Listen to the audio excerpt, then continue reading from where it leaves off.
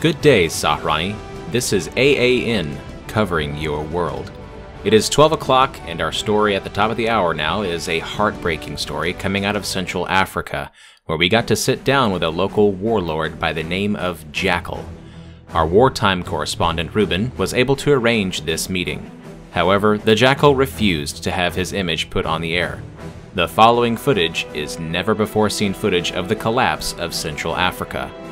All of this is unaired footage, which was shot by Ruben himself. Viewer discretion is highly advised. Why Africa? People need weapons all over the world. Why here? Why my home? Every place is somebody's home, pal. But it doesn't stop people from going to war. I don't start wars. I didn't start this one. It seems like it's your fellow Africans that want each other dead. Besides, why should I give a shit about your home? Why should anyone?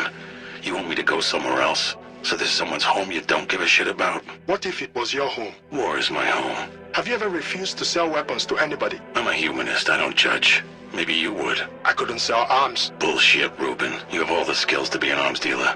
Better one than me, even. You're smart, you're creative, you're a salesman. you sold me on doing these dumb interviews.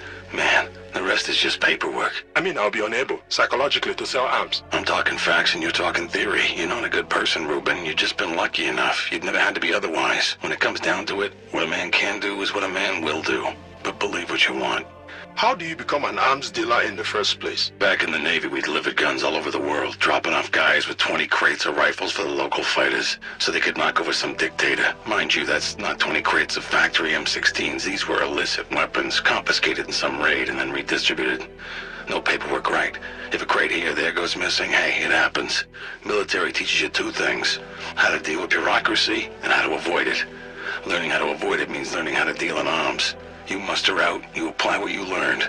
Every gun runner I ever met got his start that way, losing illicit weapons and transport with national militaries. Why arms? Why not car parts, radios? What's the difference? Same job, really. You get up, you get on the phone, you meet your clients, you discuss a fair price, you make a delivery, and receive payment. Sounds boring, but it's not. It's just simple. I'm doing what men have been doing for thousands of years, trading one thing for another. If it's you who wants to attach morality to it, make it evil. Insane. People who work in gun factories in Belgium or the States, they're unionized, right?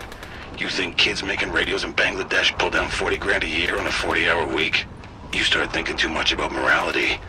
That's insane. Do you ever choose sides in a conflict? I did it once. It was a bad idea. Cut my profits in half. Almost got me killed. Never again. You sell to both sides. You can up-level the field, stabilize the market, draw out the conflict, and make more money. A big sale to one side doesn't generate repeat business.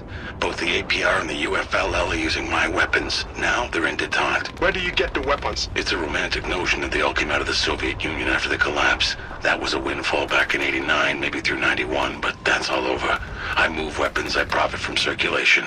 You get a ceasefire in Liberia, both sides disarm. You think they slag 2,000 tons of guns? No. They sell them to me. I resell them wherever the next war is starting. Those same Soviet guns from 1989. Oh, mm, that's about half. The rest mostly come from old European armies. After they abandoned their colonies in the 60s and 70s, you know, French guns, Dutch, Belgian. So some of these guns are very old. They've been sold, bought, and sold repeatedly. They're not biodegradable. Only the dead are biodegradable. But it's anarchy. Thousands are dead. Hundreds of thousands are displaced. If I pick sides, few will be displaced, but more will be dead.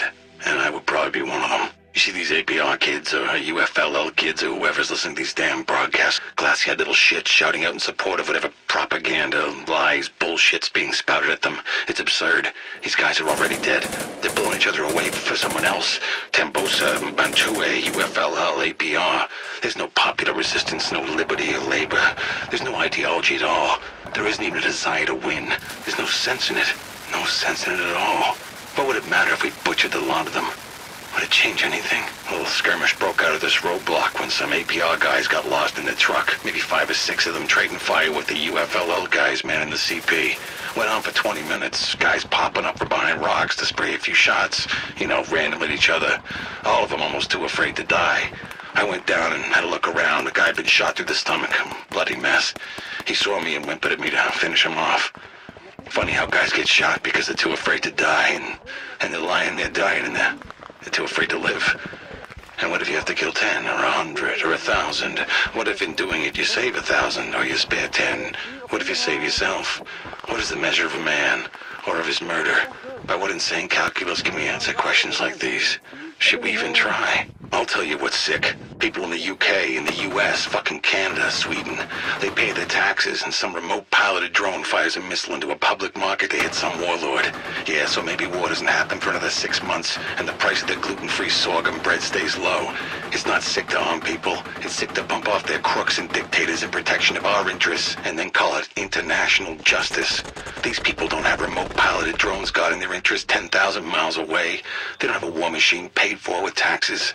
Where I am, they usually don't even have a fucking government. The drone is the oppressor. The gluten-free sorghum bread is the oppressor. The AK-47 is the great equalizer. I empower these people. What do you think you're going to achieve with this interview? You think somebody in the Pentagon's gonna read and come after me? Shit, no. I'm a necessary evil. They want me here. They're glad I'm here. Because if I wasn't, they might have to come try to stem the tide. It would be thankless and worthless, and once the bodies started coming home in bags, they're screwed. A dead 23-year-old from Iowa gets more airtime than the death of 50,000 people he gave his life to protect. So even if they did give a shit, their own media prevents them from taking action. Pray for those affected by this human tragedy. This has been AAN, covering your world.